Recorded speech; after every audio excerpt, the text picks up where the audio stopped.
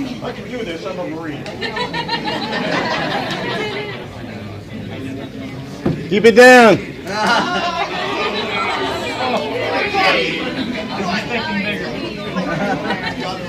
This guy came from the uh, St. Augustine Alligator. Now, listen up. Come on.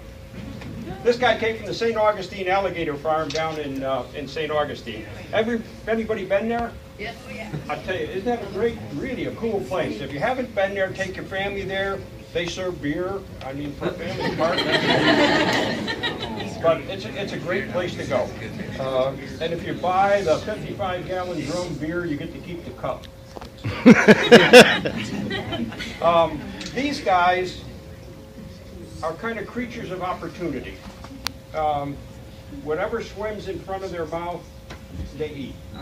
And what they do is if they're not hungry, they take it down underwater and stuff it under a log somewhere and go back and eat it later on.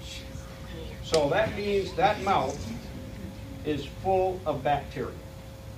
If one of them even nicks you, you're off to the hospital getting taken care of. And you're not to tell them that you've been bitten by an alligator because it's not a very good process. It's usually about a two-week process to get these shots.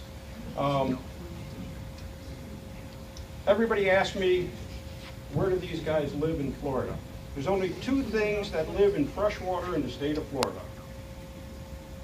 Alligators and alligator food. weekend, when you go swimming and you go to the beach and that stuff, not the ocean, but out in fresh water, and you're going to go swimming and you're not, what are you? Alligator food.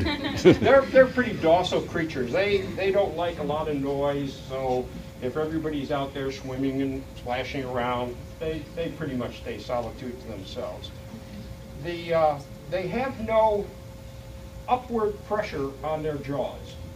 All their pressure is downward, something like three, four thousand pounds of pressure closing.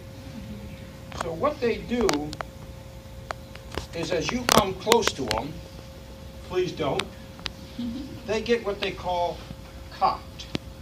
They'll be laying straight out flat like this, but this one little leg, these two legs out here will kind of just raise up. You won't even see it.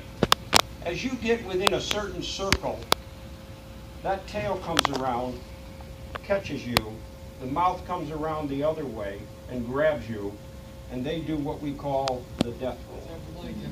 Whatever it gets a hold of is going to come off, or it's going to continue to twist and twist and twist until, I mean, it's, it's really horrible to see. if you go onto YouTube,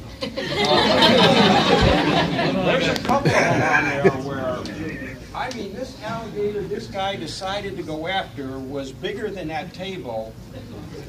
I mean, we don't, uh, we, you guys got to be nuts. When we saw this thing, and, and, this guy that was going after it was like six foot, six five, six six, something like that.